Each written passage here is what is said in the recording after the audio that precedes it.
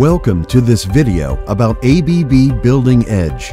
In this video, we will look at the ontology and vision of the Open Building Operation System, OpenBOS, which powers the ABB Ability Digital Building Solution.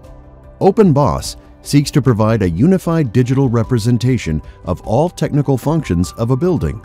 It achieves this thanks to its ontology, that is, its semantic information model with a unified representation of the building and its objects, as well as their properties and relations.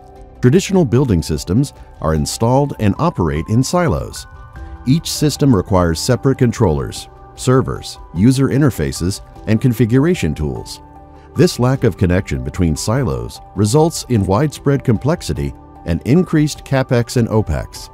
OpenBOS breaks free of silos to bring a unified representation of the building, regardless of technicity. This is its ontology. Building Edge unifies the major basic technical systems of a building HVAC, IoT, metering, and electrical control. To unify the silos, we offer a protocol and brand agnostic, letting you work with the same building context and semantics across different protocols and brands. OpenBOS thereby ensures a consistent and pleasant digital journey, regardless of the application being used. Furthermore, OpenBOS is graphical, Technics-free, and usage-oriented. With graphics engineering, it uses floor plans to let you work from the building layout showing equipment and spaces. OpenBOS lets you work with the interaction between devices, spaces, and assets. The configuration is purely graphical, Assets are attached to functions within the building, such as lamps, lux sensors, move detectors, and CO2 sensors. Users graphically configure spaces, physical areas of a property within which people live and work, such as offices, corridors, and conference rooms. Devices refer to the hardware field equipment used to connect assets to the network and communicate. Managing a building means working with hundreds and even thousands of devices, spaces, and assets. These are all linked to templates. Templates enable mass integration, populating objects from templates, maintenance if there's a problem, change the template only and not each single object, and reliability. With no manual work, there's no error. There are templates for assets, devices, and spaces, as well as alarms and trends. OpenBOS also lets you sort templates into reusable libraries, saving time and preventing mistakes with proven and tested templates. Libraries also let you segment work between expertise and operations. Companies centralize expertise to create templates and populate them with fewer experts, lower costs, and over multiple sites.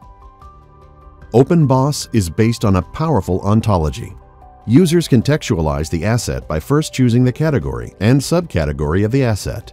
Here, asset templates are contextualized into system categories, HVAC, comfort, sensors, and so on. The process is identical whatever the objects, devices, spaces, or assets. In this configuration, for example, we're using three device templates, four asset templates, and two space templates. Let's create six device instances 16 asset instances, and 3 space instances. This lets us create 9 device instances, 1 light controller, 4 multi-sensors, 4 CO2 sensors, 28 asset instances, 16 lamps, 4 CO2 sensors, and 4 lux sensors, and 4 move detectors, and 3 space instances, 2 offices, and 1 meeting room. Also note that the notion of asset does not correspond to a device, as one device may manage one or several assets. Similarly, a space is a collection of assets located within physical boundaries, but different assets of the same physical device may belong to several and different spaces. Assets are physically connected to hardware device by wiring, but they are logically connected to spaces by usage. In any case, this unified vision of spaces, assets, and devices all interacting with one another enables you to manage the building in an intuitive way, free of burdensome technicity. This is the real added value of the OpenBOS ontology.